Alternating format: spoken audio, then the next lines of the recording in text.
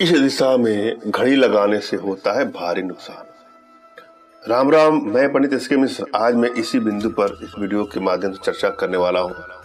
कौन सी दिशा है जिसमें घड़ी लगाने से आपको भारी नुकसान का सामना करना पड़ता है? वीडियो में अंत तक हमारे साथ बने रहे बिना स्किप किए हुए।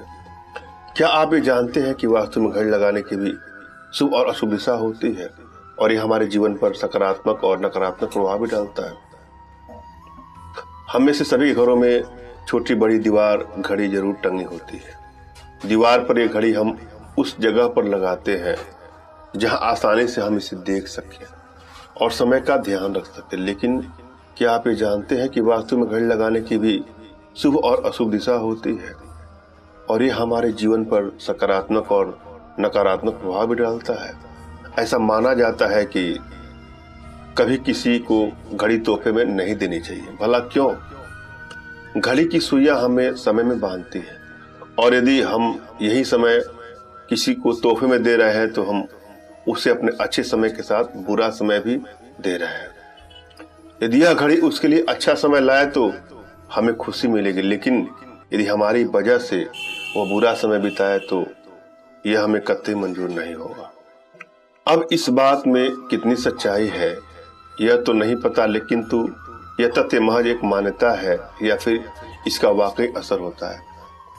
खैर, घड़ी के संदर्भ में वास्तुशास्त्र और फेंसुई विज्ञान बहुत कुछ कहता है।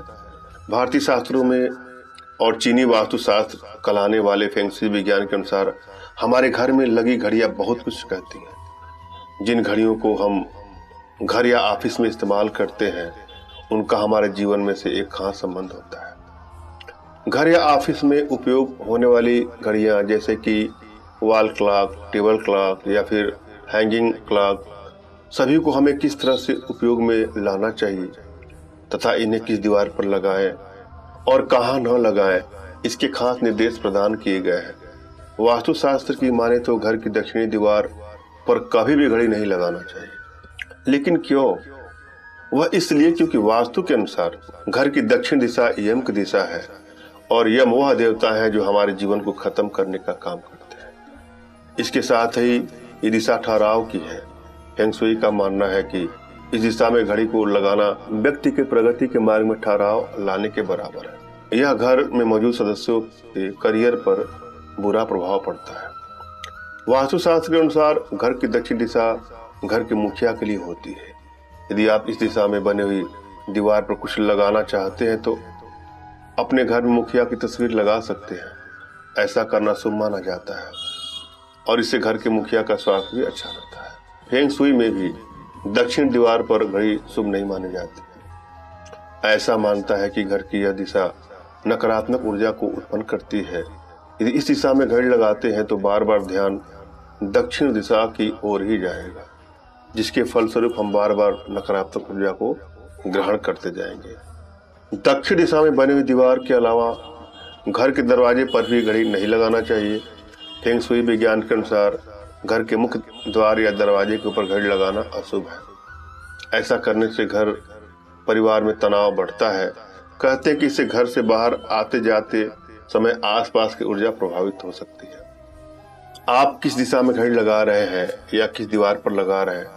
यह तो ध्यान देने वाली बात अवश्य है, परंतु कहीं आप गलत घड़ी का इस्तेमाल भी तो नहीं कर रहे हैं।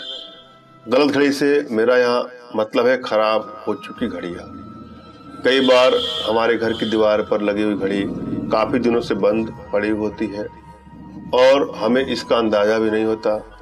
आज के गैजेट्स युग में यह सब होना आम है, क्योंकि आज की पीढ़ी को यदि टाइम देखना है तो वो अपनी कलाई पर बंदी घड़ी को देखना भी पसंद नहीं करते। बल्कि अपना मोबाइल फ़ोन ऑन करके उस पर समय देखते हैं। इसलिए बंद पड़े हुई घड़ियों पर उनका ध्यान न जाना व्यवहारिक सी बात है। वास्तुशास्त्र के अनुसार बंद पड़ी घड़ियों को घर में रखने से सकारात्मक ऊर्जा का स्तर गिर जाता है।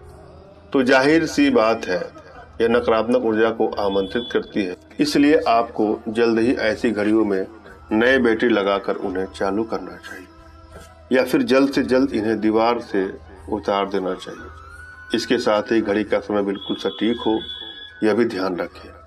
वास्तुशास्त्र के अनुसार समय से पीछे चलने वाली घड़ियों को भी अच्छा नहीं माना जाता। इसलिए घड़ी के टाइम को हमेशा मिलाकर रखना चाहिए। केवल दीवार पर लगी घड़ियाँ ही नहीं, बल्कि अन्य घड़ियाँ जैसे हाथ पर बांधने वाली घड़ियाँ भी यदि उपयोग नहीं हो रही हो और बेकार बंद पड़ी है तो उन्हें ठीक कराकर उपयोग में लाए। क्योंकि वास्तुशास्त्र के अनुसार ऐसा सामान जो घर में पड़ा है, लेकिन काफ़ी लंबे समय से इस्तेमाल नहीं किया जा रहा हो तो अभी नकारात्मक ऊर्जा को लाने का एक बड़ा कारण बनता है। घड़ी के बंद हो जाने जैसी परेशानियों के अलावा एक बात और ध्यान में रखें कि गलती से भी घड़ी पर धूल ना जमे। अक्सर दीवार पर लगी घड़ियों पर एक दो दिन बाद धूल जम ही जाती है।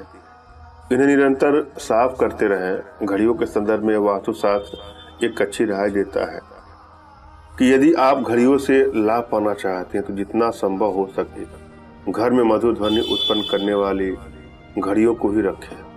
इससे अच्छी आवाज़ से घर में सकारात्मक ऊर्जा बनी रहती है।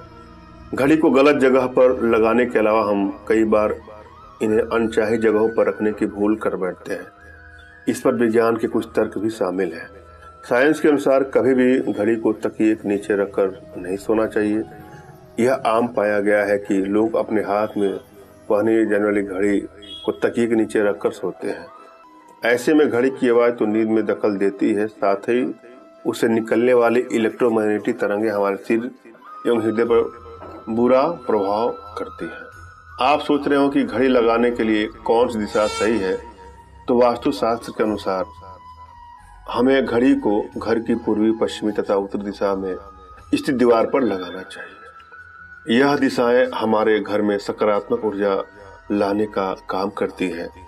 इसके अलावा यदि आप घड़ियों से लाभ पाना चाहते हैं तो अपने घर की दीवार पर पेंडुलम वाली घड़ी लगाए। ऐसी मानता है कि दीवार पर लगी पेंडुलम वाली घड़ी इंसान के जीवन के बुरे समय को दूर करने वाली होती है। इस प्रकार की घड़ी को घर के ड्राइंग रूम में लगाना चाहिए। साथ ही घड़ी का सही आकार भी हमें विभिन्न फ़ायदा देता है।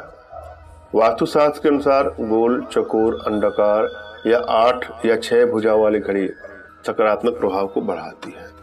तो घड़ी खरीदते समय आप आगे से आकार का ज़रूर ध्यान रखेंगे। दक्षिण में लगाई हुई घड़ी परिजनों की आयु और स्वभाव के लिए अशुभ मानी जाती है। घड़ी का समय बिल्कुल सही या दो तीन मिनट आगे रखना चाहिए। निर्धारित समय से पीछे रखने से जीवन में बाधाएँ आती है। ऐसा व्यक्ति परिश्रम का फल तथा प्रसन्नता प्राप्त करने में पीछे रहता है। वहीं इससे दैनिक कार्य में भी परेशानी हो सकती है। मैंने यह भली बात कुछ तथ्य दिए हैं, घड़ी पर वास्तुशास्त्र के अनुसार और फेंगसुई के अनुसार। कुछ और जानने की इच्छा हो तो व्हाट्सएप करिएगा और कोई समस्या का समाधान करना चाहते हैं तो भी व्हाट्सएप करिएगा और जीवन से जुड़ी कोई भी समस्या हो या अपनी कुंडली दिखाना चाहते हैं या हस्तरेखा दिखाना चाहते हैं तो आप हमसे संपर्क कर सकते हैं। धन्यवाद। राम राम।